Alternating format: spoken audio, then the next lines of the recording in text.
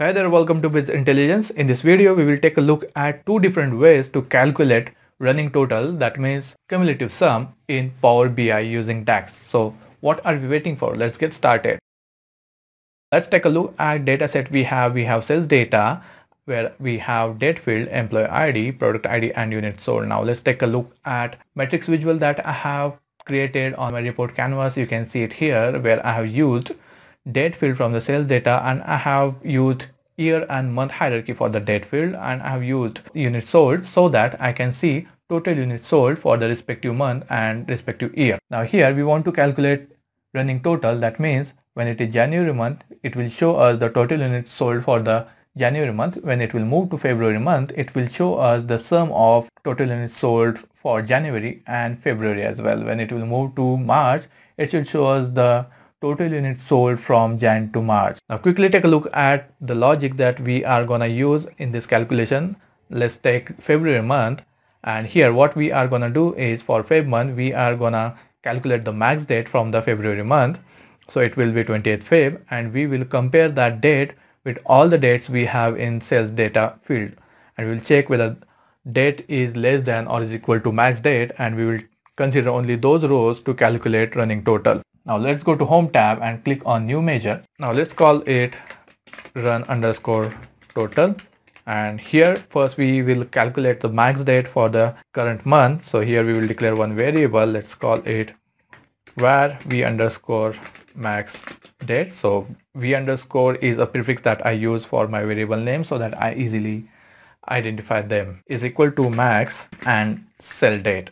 So it will give me the maximum date for the, the current month that we have in this matrix visual.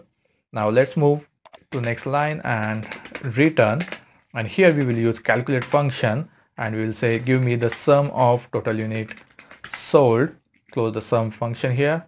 And here we will use filter function. So here we have to remove any filter that has been applied on this sales data table so we will use all function. It will return you all the rows in a table or, or all the values in a column ignoring any filter that has been applied on that specific column or table. So here we will call give me all the rows from sales data table and here we will compare sales data's date field whether that date is less than is equal to max date that we have calculated before. Let's close filter function and calculate function as well. Press enter and now let's go and drag this new measure that we have created in values section and now you can see we have running total ready. You can see for January month it is uh, it is showing us the that specific month total units sold but when it moves to Feb month it is showing us the sum of total units from January month to February month. When it is it moves to March it shows us the sum of total units sold from Jan to March. One thing that you can notice here is when it reaches to December and moves to next year, it carries the running total from previous year and continues to next year as well. So when we want to reset the running total for the next year and we want to calculate running total only for that respective year and when it moves to next year we want to reset that running total, we will implement another logic for that. We will go to home